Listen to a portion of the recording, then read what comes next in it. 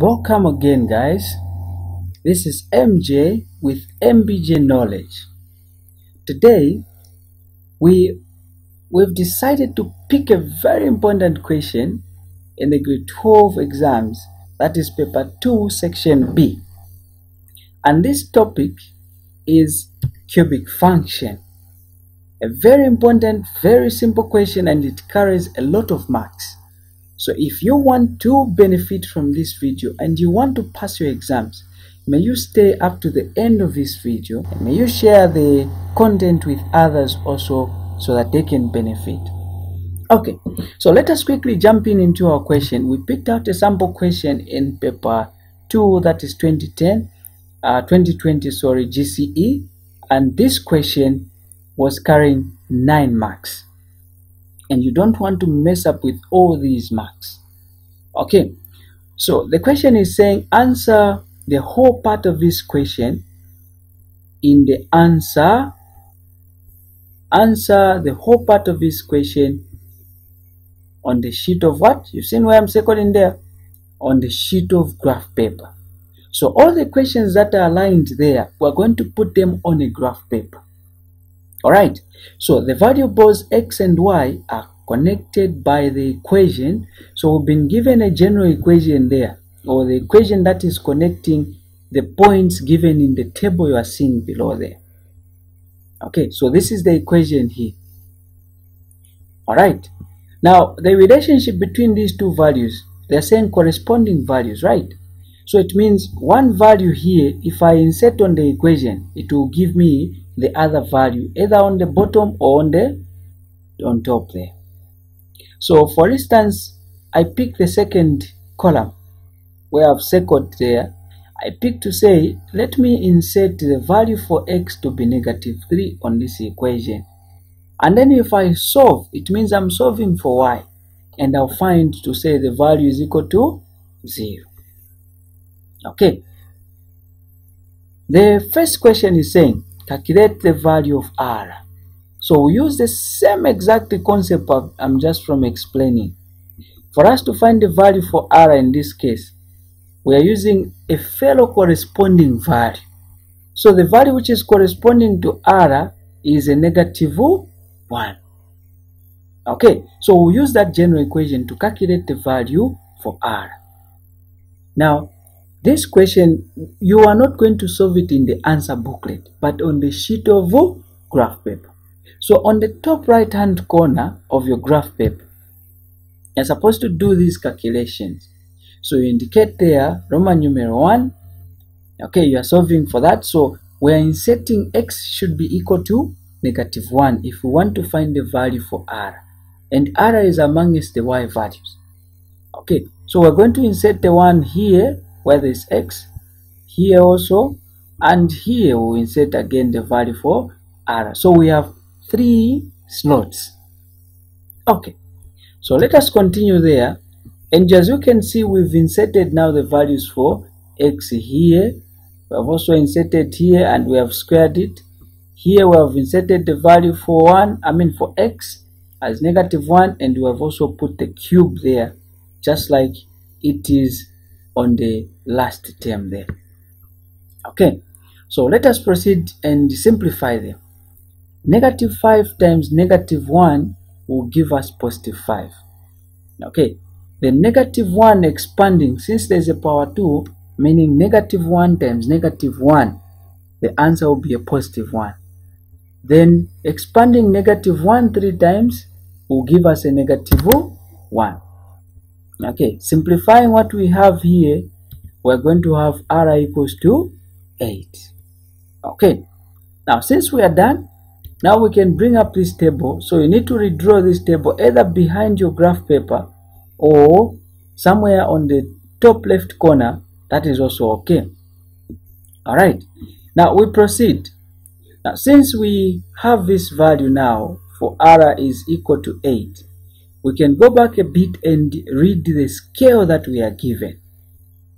So in this case, the scale we are given, they are saying using a 2 centimeter, I using taking 2 centimeter to represent one unit on the x-axis.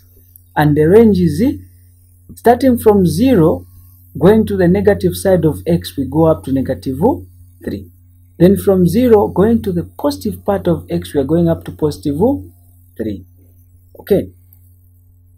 Now this is what we do. If you check your graph paper that bigger box on that graph paper is representing 2 centimeters. So when you make a step of 2 centimeter you put 1 unit. You make another step of 2 centimeter 2 you make another step of 2 uh, 2 centimeter that is 3 just like that. That is how the values will be moving in the x-axis. And then in the y-axis we are still using a bigger box but the units are different now we are representing it. You can see here we are representing 10 units.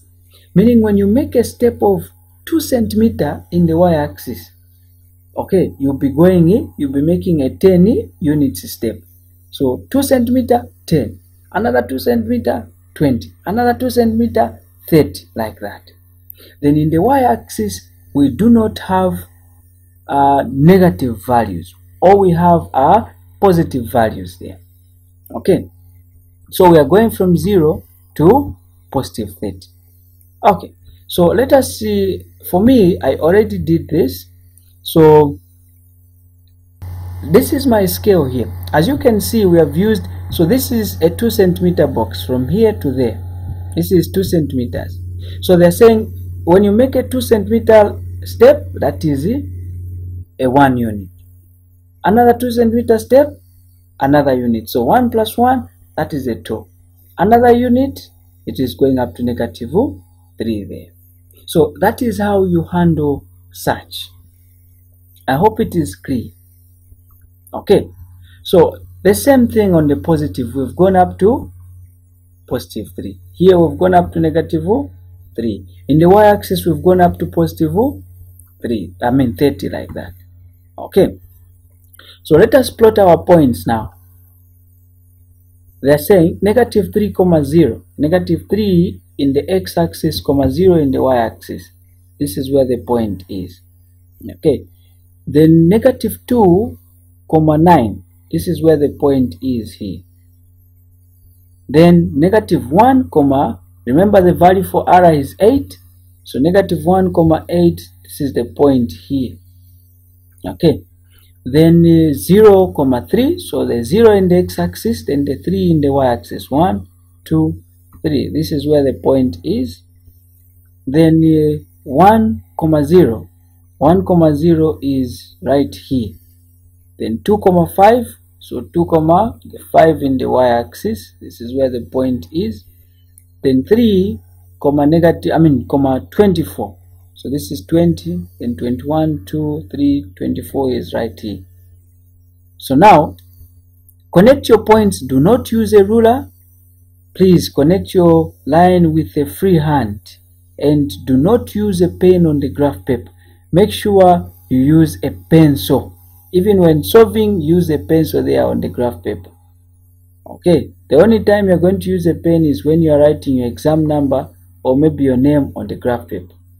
So use a free hand and make sure you're drawing a curve, not straight lines. It should be a curve. Okay. Now once you are done like that, so you are getting three marks for plotting just this. Then you also indicate your equation, just like we have indicated here, to say this is the equation you have plotted. That in the original. Okay. So now we go to the third question. So up to that far, now we have gotten three marks. Okay. Okay, we have gotten three marks. That is just for plotting and connecting those points.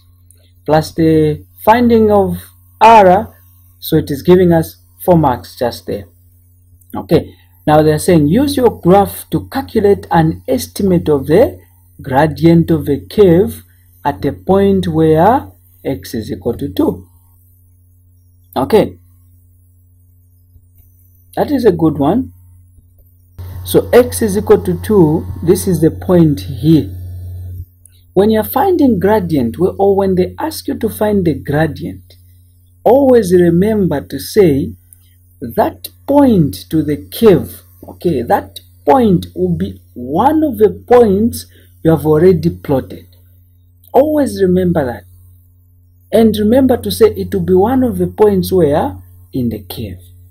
So sometimes they can give you in full coordinates, they can say where 2 comma at the point where it is 2 comma 5. So what we are interested in in this case, it is just a value for x. That's all. We are not going to start drawing the tangent like we have done here. Of course, it is also correct when you draw the tangent like this and pick a point on one of the uh, on the tangent. But what we'll do, we are going to find the derivative or we are going to differentiate the original equation. So we can see what I've written here to say we find the derivative of what? This final equation. So we are going to differentiate this equation, that original. So you go back and get from the origin. That equation is the one that we differentiate. Then once we are done differentiating, okay, we are going to insert now the value for x that we are given for the tangent. So how do we differentiate? A quick recap on how to differentiate. So you can see this Okay, so if you are differentiating a number or a term that does not have a, a, variable, if you are differentiating a number that does not have a variable, meaning which does not have a letter, the answer will be equal to zero. If you are differentiating a term which has a letter, this is how you are going to be differentiating it okay you concentrate on your letter. So the power on the letter will become will come on the coefficient. You can see the power for x is n. So that n is coming on the coefficient or in front of your letter. Then the same power is going to reduce by 1 it means you have differentiated there. Okay so let us dive in into this let us differentiate this function. So differentiation of 3 is good, 0. Why? Because this is a constant. It is a term which does not have a letter. Good. Okay. Then differentiating negative 5x. So the negative, we keep it outside. Then what power does this x have? This x here has got a power of 1. So if I'm differentiating there, I'll keep my negative 5 like this. Then since this power has to come in front of my letter, now we already have a number there. So as I'm writing, I'll multiply that power with the, the coefficient which is already there. So there's already a negative 5. I'm multiplying with the power which is the 1. Then this x we say 1 minus 1. Okay, so negative 5 times 1, we're still having negative 5. Then x, so x, 1 minus 1 is what? Good, 0. And using indices, we say any number to the power 0 apart from 0 itself. So any number to the power 0 the answer is equal to 1. So if I multiply 1 times negative 5, I'm going to still have a negative 5. So that will be the differentiation here. Then here, okay, we have something like that. Then here, we are having the 2 coming in front of my letter and there's no number there. So this is the 2 which was the power. Then the same power reducing by, by 1. Same applies on the last term there. The 3 is coming in front of my letter here. And the same 3 is also reducing by 1. Good. Okay. Then we proceed. So as you can see, here we're going to have x to the power 0. Here, we're going to have x to the power 0. And we have said any number to the power 0 apart from 0 itself it is equal to 1 so 1 times 1 times negative 5 we still have the negative 5 like that. Okay. Then here 2 to the i mean 2 minus 1 that is 1 but we don't show the power of 1 okay. So that is why we have just written 2x here then the 3 minus 1 that is a 2 so we have 3x to the power 2 we have differentiated there. So after we are done differentiating now we are going to put the value for x. Remember we are finding the gradient at a point where x is equal to 2 so when you are done differentiating you now get your value for x and insert it into the equation you are just from finding after differentiating. So I'll put the 2 on these slots for x, here and here. Okay, so when I put the 2 there and the 2 there, so I'll have 2 times 2, that is a 4. Okay, and 2 to the power 2, I also have a 4. Okay, so we have 3 multiplied by 4. What is the answer? So we are having 12 there. So we have negative 5 plus 4 plus 12. And my final answer is 11. So this is the value for the gradient. Okay. So the most important thing is, first of all, to differentiate your original equation you are given. After differentiating it, now you are going to put the value for x on that given point where you are finding the gradient from. So don't worry about drawing the line like we did. There's no need for the line if you're differentiating.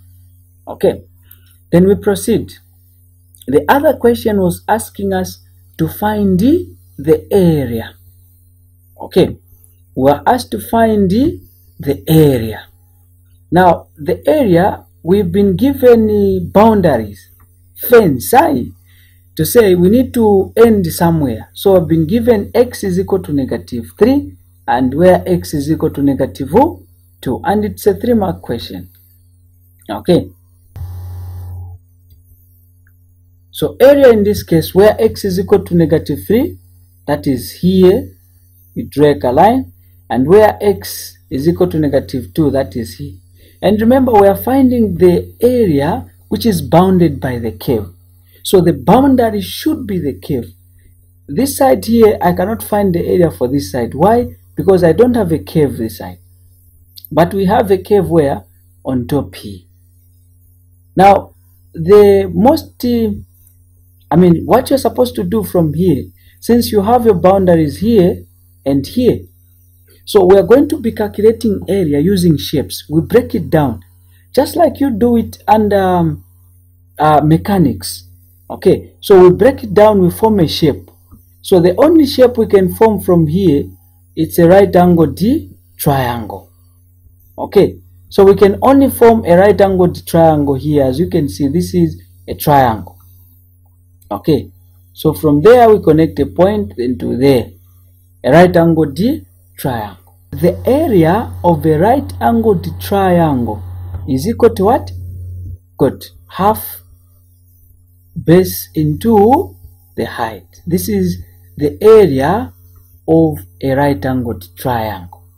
So all these questions, remember you're writing them on the graph paper. Where there is a space, write these questions. Don't write them in the answer booklet. You lose marks there. Okay. So let us proceed. Now, for me to pick, this is my base and this is my height. Okay. So my base is starting from here up to here. Now, when I'm moving from this point to this point, I'm using the values in the x. So I'll make sure that I use the scale for x. And remember the scale for x, eh, we are using 2 centimeter to represent 1.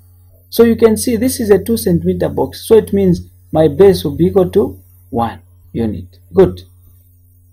Then this is y-axis. If I'm moving from this point to this point here, I'm using the values for y. So I'll use the scale for y. Now remember in the 2 centimeter we are representing 10. So if I divide 10 by the 10 lines in the box there, I'm going to get 1. So each line here is representing 1 and 2, 3, then I'm going up to, this is 9 here.